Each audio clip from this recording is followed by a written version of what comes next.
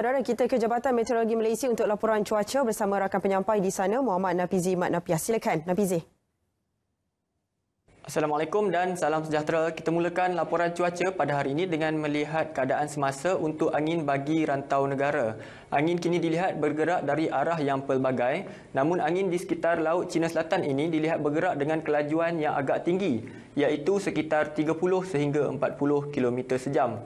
Oleh itu, Jabatan Meteorologi Malaysia telah mengeluarkan amaran angin kencang dan laut bergelora kategori pertama bagi kawasan-kawasan perairan yang berwarna kuning ini dan amaran ini berkuat kuasa sehingga 1 November 2019. Keadaan ini adalah berbahaya untuk sebarang aktiviti perkapalan, perikanan, bot-bot kecil serta aktiviti sukan dan rekreasi laut yang lain. Kita teruskan lagi dengan melihat tinjauan cuaca semasa.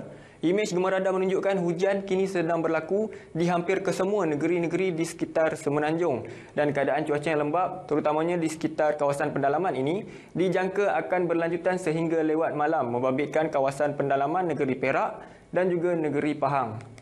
Kita teruskan dengan melihat tinjauan cemasa untuk negeri Sabah dan Sarawak.